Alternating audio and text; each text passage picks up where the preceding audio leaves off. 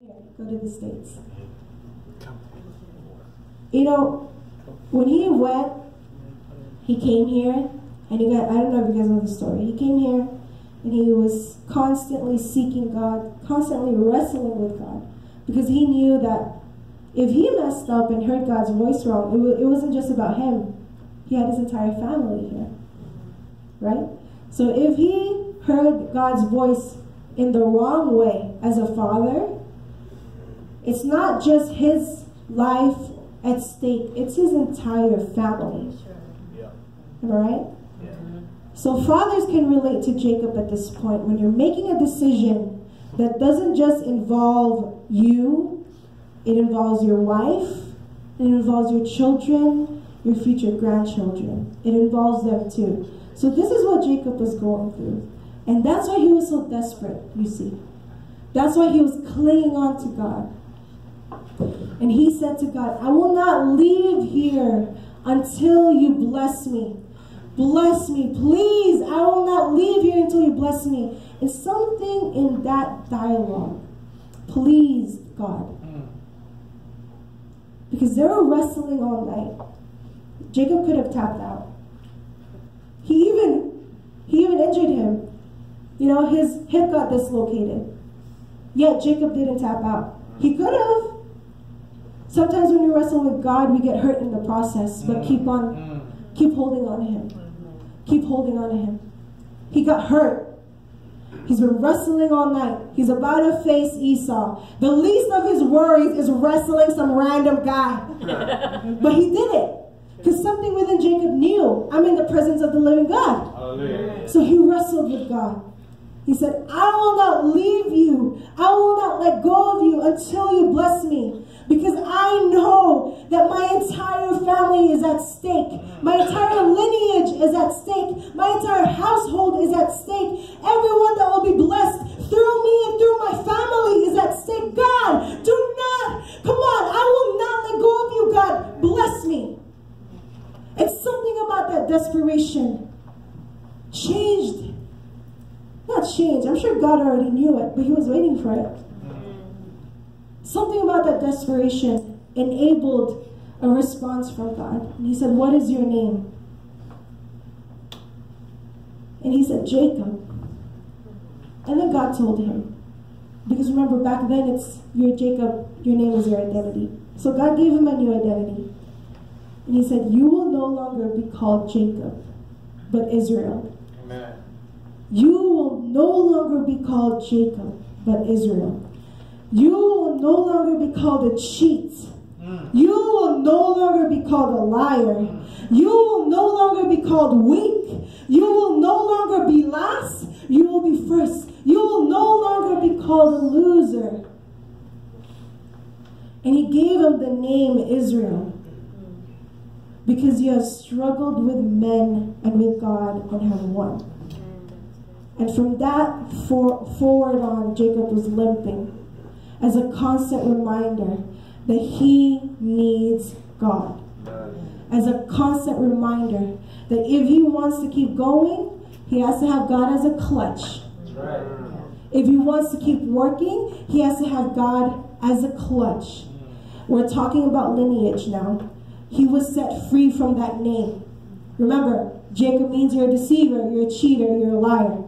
He was set free from being Jacob and he became Israel. Israel had 12 sons. The 12 sons, among those 12 sons is Judah. From Judah, if you go all the way down through Jacob, through Judah, all the way down, Jesus was born.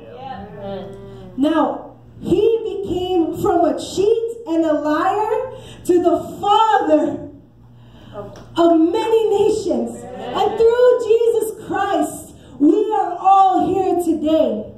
Now, I want to tell you guys, church, I don't when we're serving God and wrestling with Him, there is more at stake than just us.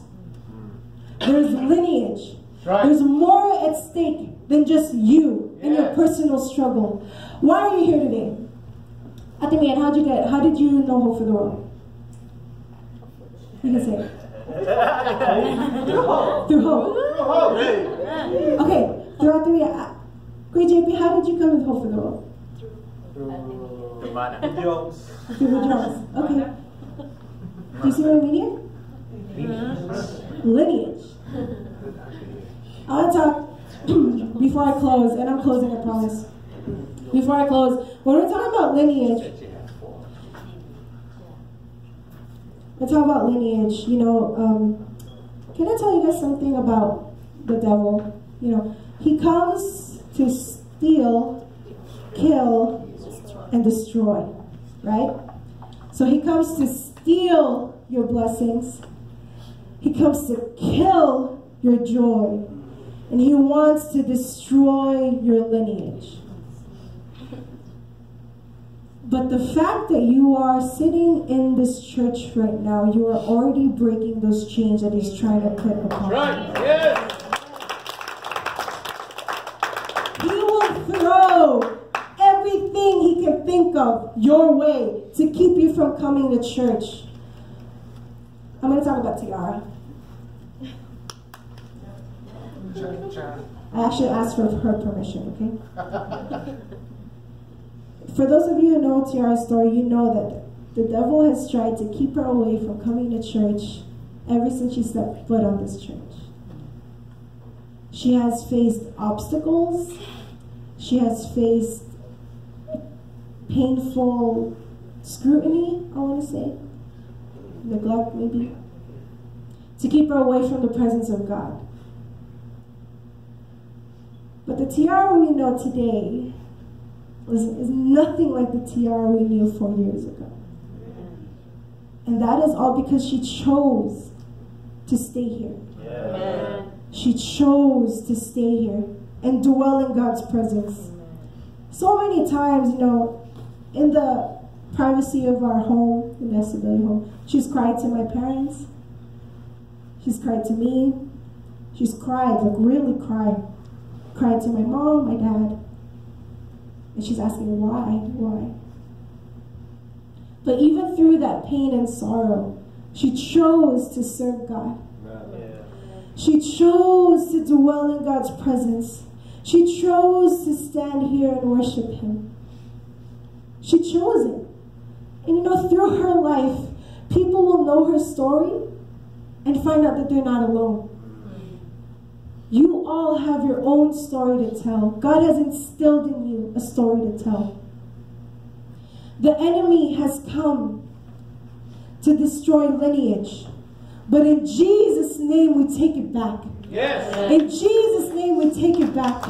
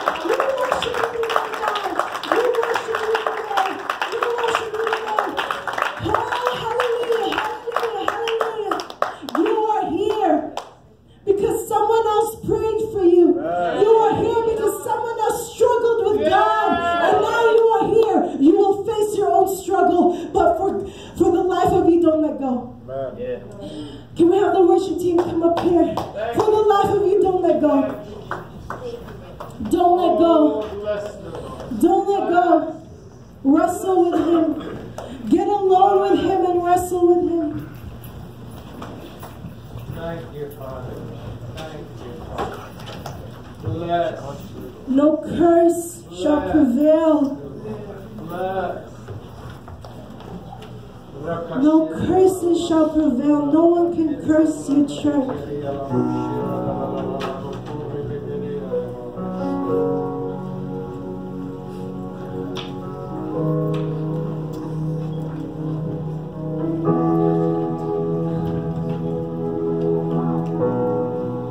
yourselves a, a few moments to have a personal encounter with God. few moments to really talk to Him and seek Him right now, right now, right now. Oh, we worship.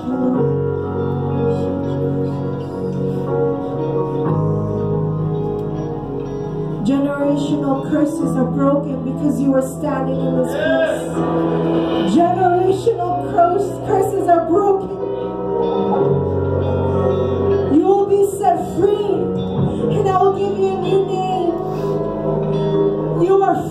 church. You are free.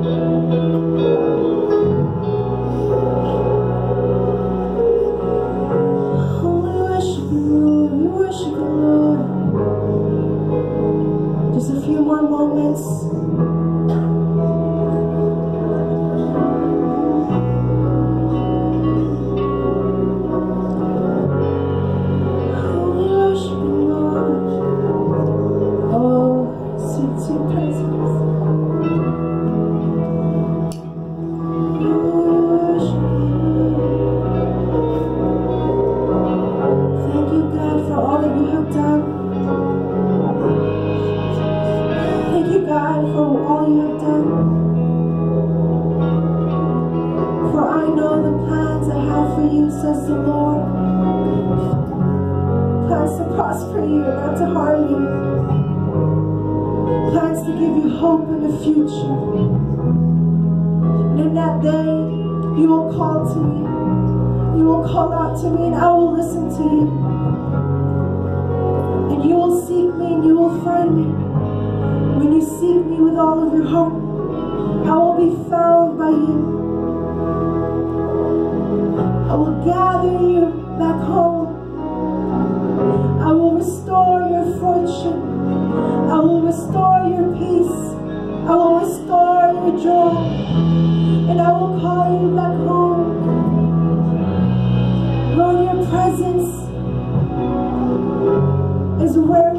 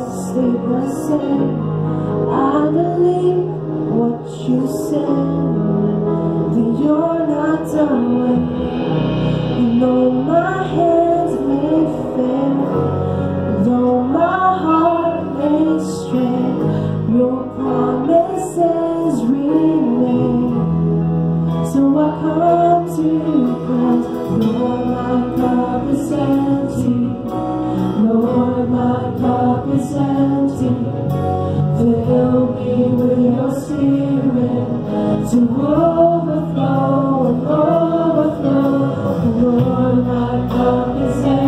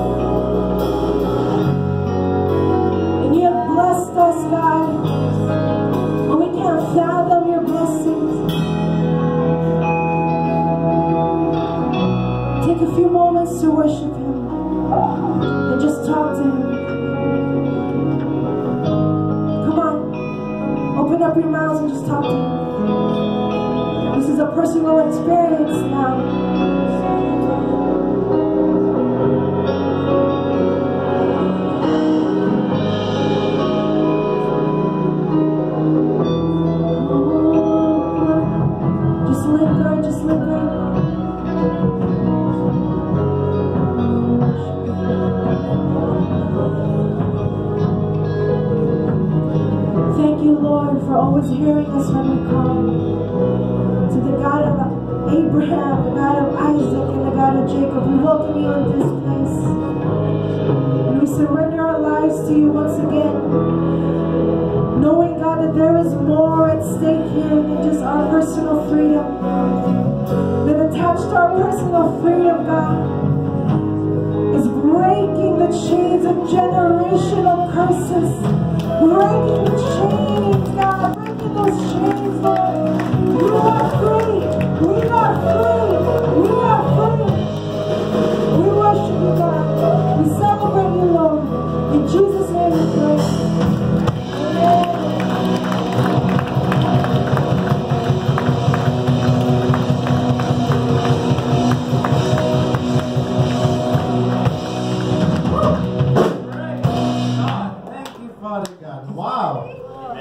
Goodness. Praise God. Thank you, Lord. Wow. Amen. First, I don't think I can preach that sermon any better than that.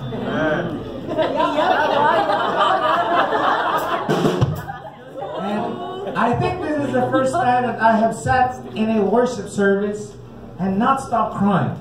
I don't know whether it's because my daughter is preaching or something, but everything that was said this morning really struck my heart.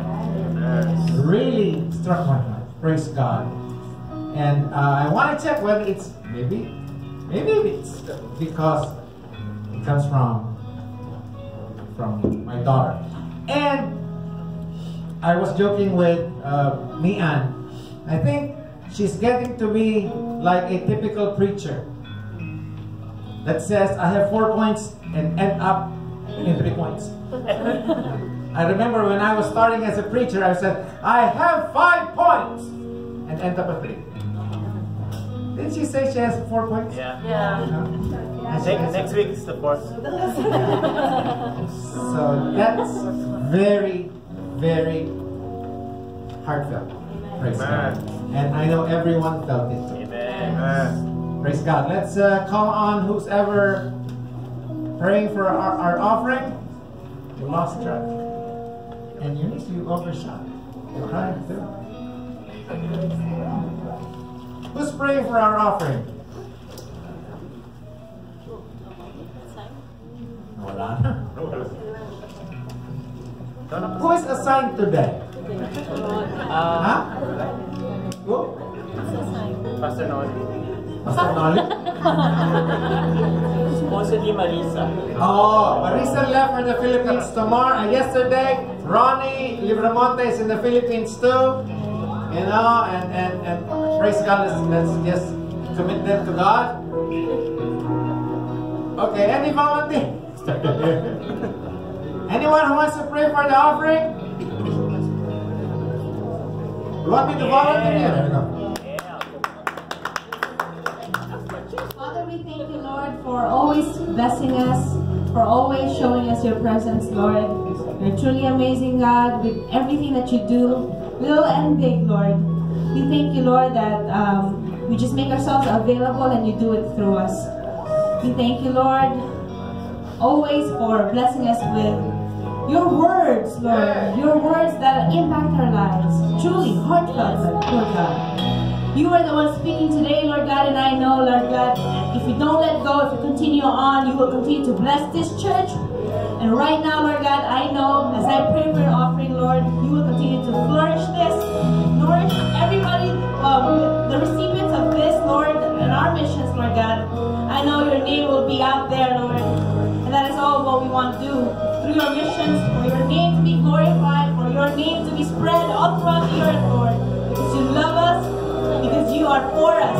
And right now, God, I know, bless this offering right now uh, to fulfill your mission, to fulfill your will in our lives.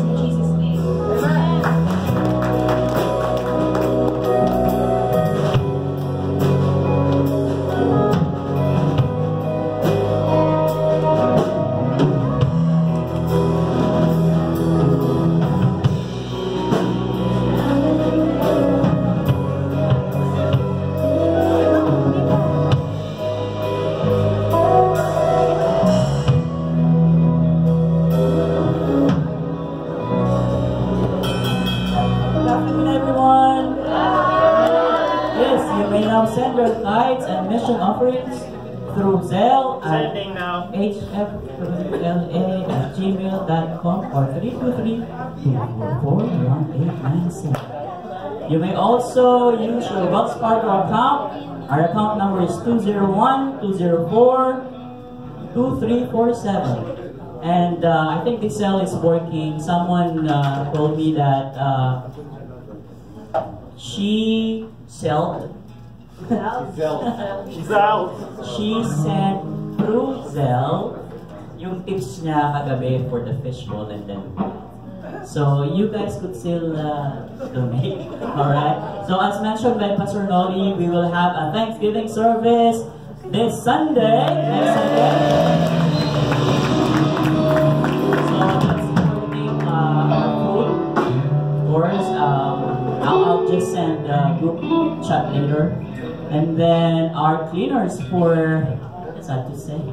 It's redeem and, no, it's not sad. We're, we're happy to serve. Amen? And redeem and ROD. Alright, let's close with prayer. Kuya Ryan? Kuya Ryan? Are you Yeah. closing us in prayer? Yeah, he is. Yeah? Si, sino po? Tatay Larry? Si Tatay Larry, tatawain ko na yan. Tatay Larry!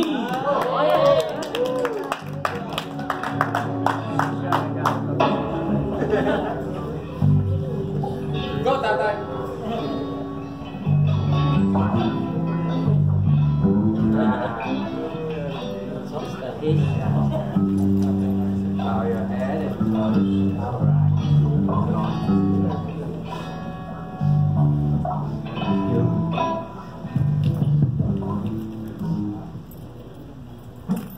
Father, we come to you in the name of Jesus by the help of the Holy Spirit and by your grace. Thank you for your word of wisdom in our Sunday service. For it is a lamp unto our feet and a light unto our path. Grant that we may love it, understand it, believe it, and live accordingly. Yeah. Hear us for the sake of our, our, uh, oh hallelujah, Lord, of our God and our uh, Jesus Christ. Thank you. We praise you. We magnify your name. We worship you in spirit and truth. You are the greatest, the sovereign one, Amen. the God of all creation. And without you, nothing made us possible. Again today, you have blessed us, dear Lord, above all that we could ask or Yes. we praise you, Lord Jesus, with our grateful heart for the protection and guidance that we have enjoyed to your goodness and love. Your continuous presence has made the day brighter, even though we have failed and oh hallelujah, Lord. Oh hallelujah, Lord. May the peace and hope for the world make us all better Christian, stronger in faith, nobler in character, more concentrated servant and faithful disciple. Thank you for your loving care, and we know that all things work together for good to those who love God, to those who are the called according to your purpose. To God be all the glory for the things you have done. Through Jesus Christ, our Lord and Savior, this is our prayer. Amen. It's